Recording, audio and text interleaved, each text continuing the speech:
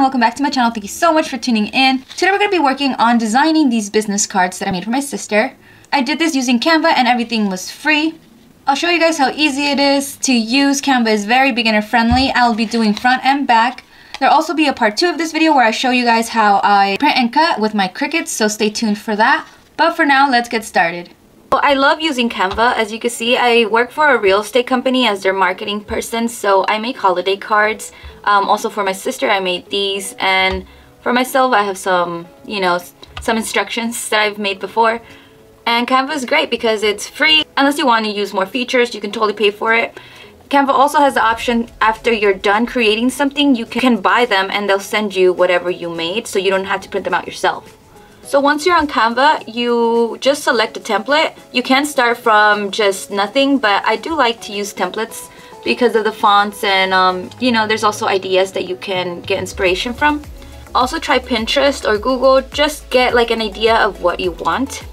As you can see here, there is a section that just says business card, which is the one I'm going to use. You can start with the blank canvas here or on the side over here, you can look up the type of business cards you were looking for. For example, this one is a free one that you can use. It looks like it's a beauty treatment card. Again, this one looks like a marketing manager card. And this one is a makeup card. So if you happen to like this card and you want to make this one your own, you are free to change them however you want. If you don't want the flowers, you can delete them. If you want to move this out of the way, you don't want the polka dots, you can delete that too. You can also change the colors of the background. I don't know, maybe you want a black card and you want some white polka dots as well.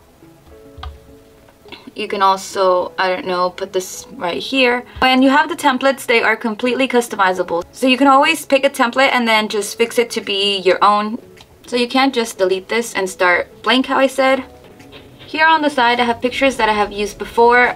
You can upload any media you want. Um, it's very easy. I have like, I don't know, this gold background. We can add it. And then if you want your cards to be gold, this could be the background. And you just add to the top of it whatever you want. It's very easy. if you have images like this and you want to use them but see how it has a background, you can remove the background with Canva but you have to pay for the subscription. What I like to do is go to remove.bg Right here, you can upload an image and it'll remove the background for you. Say you wanted to remove background from this picture. Now it removed it for you and it's 100% free so you can download it. And once we go back to Canva here, uh, I upload the image. You can see it's been added and it's just the image with no background. So I'm so proud of my little sister for starting her lash business. She is a mother of two, and of course when she told me she wanted business cards, I was more than happy to help her out. We wanted something simple, so I just made something like this, and for the back of it, again, something very simple. She also asked me to do loyalty cards, which are these, and refer a friend cards. As you can see, they all kind of have the same theme, but for now, I'll show you how I did these. And I've always said that I always find free images on Google. That is how I got this flower and I just put one in the corner here and then I duplicated it and I rotated a little bit so it could look a little better and I put it on this side. Next is the text and I just clicked add subheading and here I'm going to write the name of her business which is Lash Style Beauty. And if you wanted to keep that font, it is up to you, but I used the font called Better Saturday and here we go. Now I'll move this over and of course we make it bigger. And what's great about this is that you can move it around and see where like the middle is so everything could be centered properly. Next, we're gonna add some information to how to contact her. And for that font, I used Alice.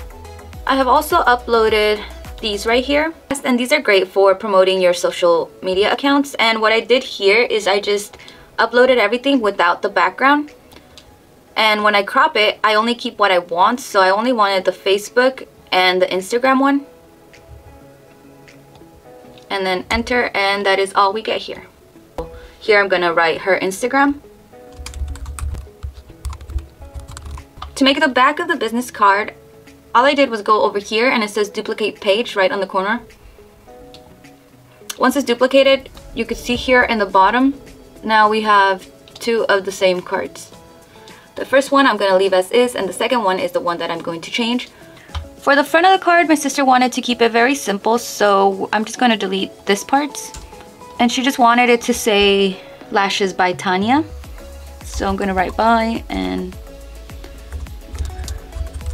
and the top here I'm just going to delete this part and write lashes and I wanted to make this a bit bigger and I'm gonna keep the flower up here but I'm going to delete this. And over here on the images I already uploaded the hand. And I'm just gonna be adding it to this side. But it's kind of awkward facing that way. So right here we have a flip option. And we can just flip it horizontal. And that looks a lot better right? Just keep going. Keep making whatever cards you want. It's really easy. Just keep duplicating right here I duplicated and I have another section. If I click on the first one that is the back of our card. Here is the front of the card. And I don't know you could do your uh, loyalty cards just how I did my sister's. It was again very easy. I like to just keep duplicating and then just changing as I go. That way you get to keep the same theme.